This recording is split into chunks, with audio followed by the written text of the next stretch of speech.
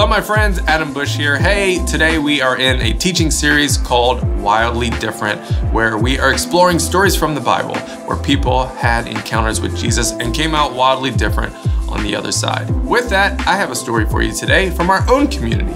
This is Kristen Suarez. Now, to hear Kristen's story, we got to start at the beginning where she was introduced to drugs and alcohol by her friends at a pretty young age. I was kind of fending for myself after school. I was smoking weed and drinking alcohol and doing Xanax and cocaine and then meth. Once I did meth, I didn't need anything else because that was my favorite. It wasn't long before I realized that I could tell my friends about meth and they would want some, and that was it for me. Then I became a drug dealer.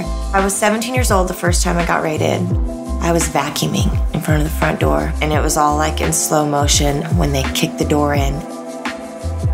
And they took us all to jail. I got pretty much a slap on the wrist, probation, and not long after that, I had my son, and I was still doing the same thing.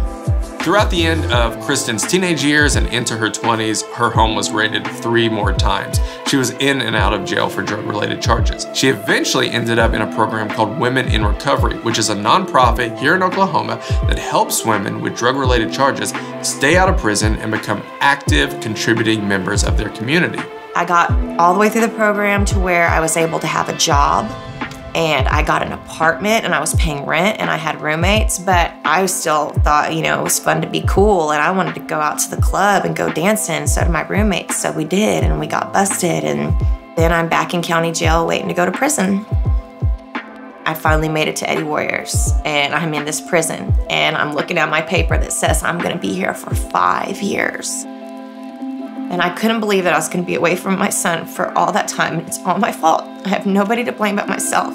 And it's real. It's happening. I'm really here. Nobody saved me. Nothing got me out. I'm really here.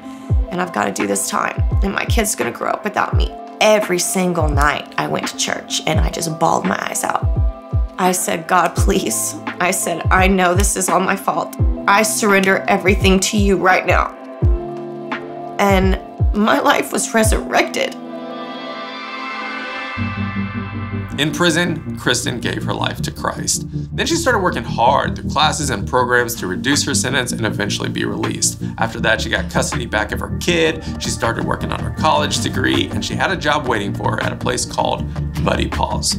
Muddy Paws is a daycare, grooming, and boarding facility, and we're also a nonprofit organization that teaches women with a criminal past how to groom dogs. I get to be there with them, I get to encourage them. How did I get so lucky that my career and love and passion for grooming dogs got to be tied in with women with criminal past? To me, it doesn't get any better than that. He didn't just save me from a life of addiction, he saved me for a life of ministry. I know I want to be involved with people who are like me, and I want them to see what God did in my life so that they can have hope because God can do it in their life too. You've had an encounter with Jesus. Yeah and I feel him every single day.